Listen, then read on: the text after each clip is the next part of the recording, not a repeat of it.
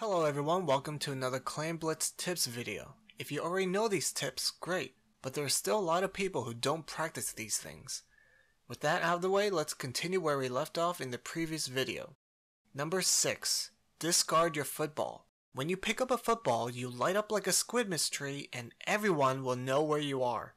If you've accidentally picked up a football and there are enemies near you, throw your football away. If you don't do this, you'll constantly be tracked by your enemy and no matter how much you try to avoid them in a fight, it will not matter because they will always know where you are.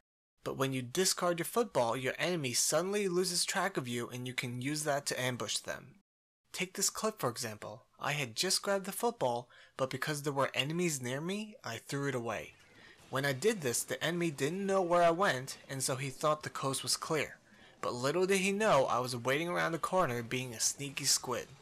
And remember, when you throw your football away, you can always pick it back up shortly after. But you're like, what if I'm unable to pick it back up and it disappears?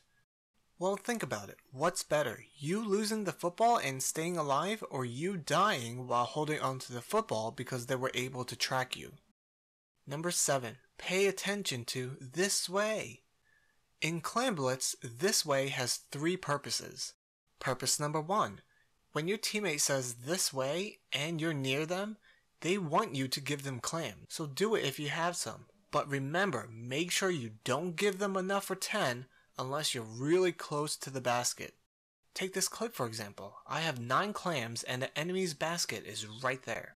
My teammate didn't know I had 9 clams even though the number was right above my head. But because I said this way, he noticed I needed a clam and gave me one. And voila, we scored.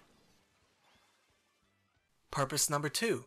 Now when your teammate says this way and you're not near them, like really far off in the distance, your teammate is not telling you to swim to them and give them clams. They want you to jump to them with your clams so you can give them enough to break the basket open.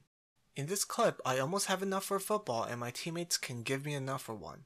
But unfortunately, they weren't paying attention to my this way, my signal telling them to jump to me, and we missed our opportunity. Purpose number 3. And finally, when your teammate says this way and you have the football, they want you to jump to them with it. In the same match, my teammate has the football, and I'm in a good spot for them to jump to me, but unfortunately they failed to pay attention again and we lost the game.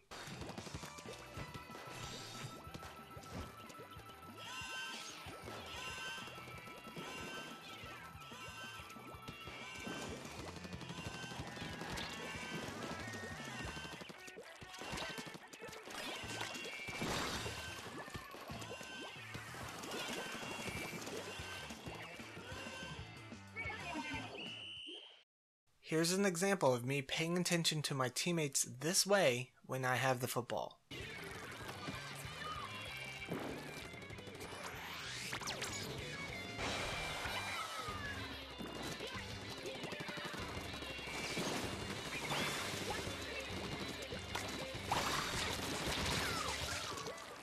Number 8. Pick up all the clams in your base. If you don't do this, a sneaky squid, like me, who has a lot of clams, can create a football right underneath your nose and score an easy goal.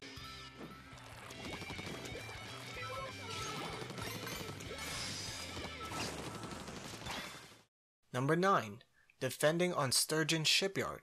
On Sturgeon Shipyard, it is crucial that you control this position at all times. At all times. Not only do you gain high ground and you can see where your enemies are, but you can prevent them from easily throwing a football or clams from there. This is what happens when the opponent does not defend that position. We can throw all the footballs and clams we want from a safe distance.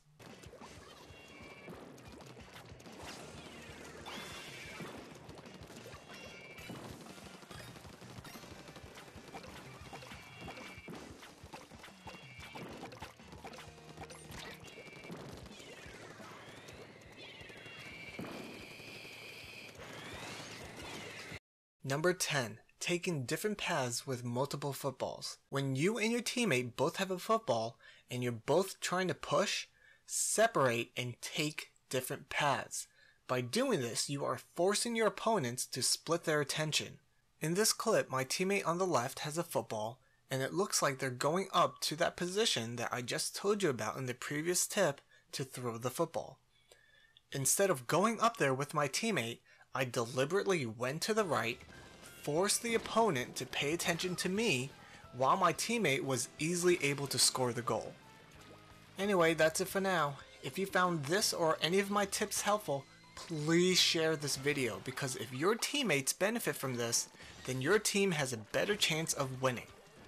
Also, my other tips can be found in the video description below. Love you all. Bye!